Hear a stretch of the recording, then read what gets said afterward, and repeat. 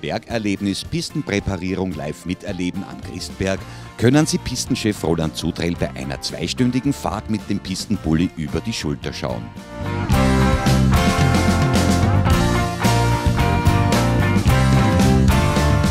Erfahren Sie Hintergrundinformationen über die Pistenpräparierung, den Pistenbully, warum ein Windenseil eingesetzt wird, wie die Beschneiungsanlage und eine Schneekanone funktionieren und noch vieles mehr.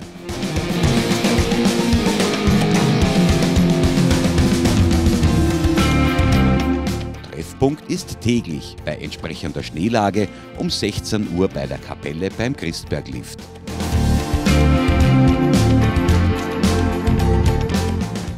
Mehr Informationen erhalten Sie unter www.christbergbahn.at.